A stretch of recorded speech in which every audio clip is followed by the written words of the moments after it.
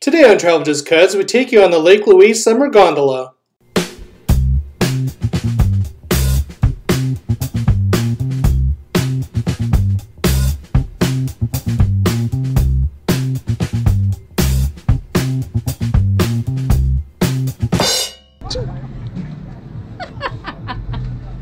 Did I miss the shot of? Good, yourself? Good. Yeah, five. Feel I might have to go to the bathroom at the top. You will.